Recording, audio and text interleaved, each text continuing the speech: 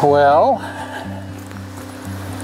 it's a foggy day on the north coast of California on a local trail just off Highway 1. Just this gorgeous, gorgeous trail.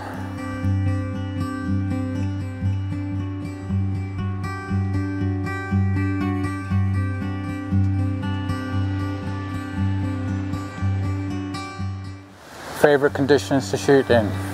Fog. Love fog.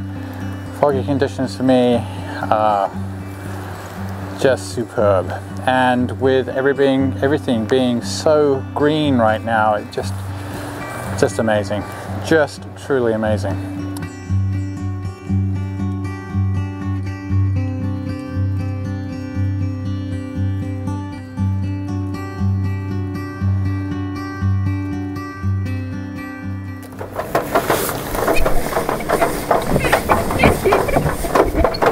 Oh, there you are.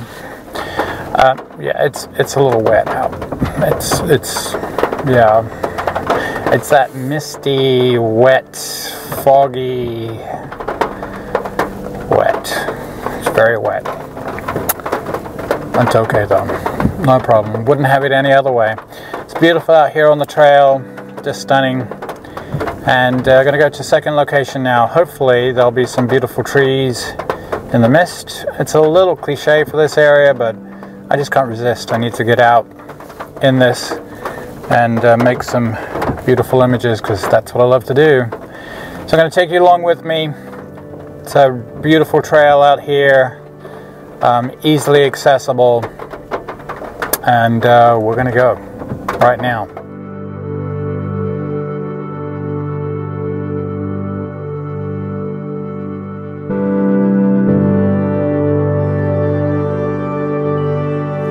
Just I've just stumbled on something that I didn't even know was here. I've lived in this area for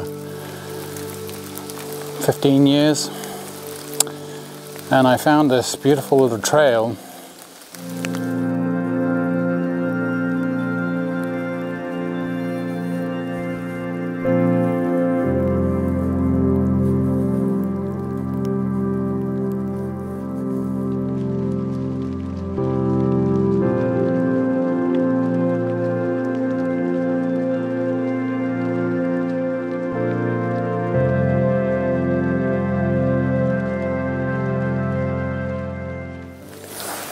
Well, I found a really nice composition with these beautiful trees that have fallen crisscross and I've got the fog in the background there coming through the trees and it's green as can be.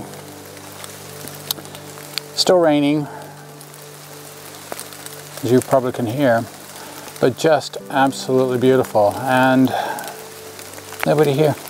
The only thing I can hear is some crows off in the distance somewhere. There's been no cars, nothing. It's been bliss. It really has. This is uh, definitely a place I'm going to come back to. It's uh, it will yield some amazing images when it's foggy and rainy, especially during the winter season.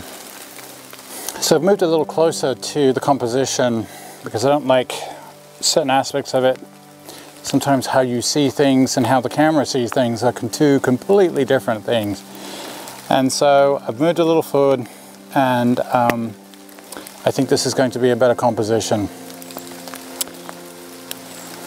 So we're going to make an exposure here. Um, it's going to be 2.5 seconds um, f11, ISO 200. And uh, it's pretty dark in here. Pretty dark. So we're going to make a nice long exposure. Uh, it's nice and foggy, so it'll be really atmospheric. It's beautiful and green. And I think the composition is going to be really, really nice. Uh, and we'll put on a self timer, two second self timer. And here we go.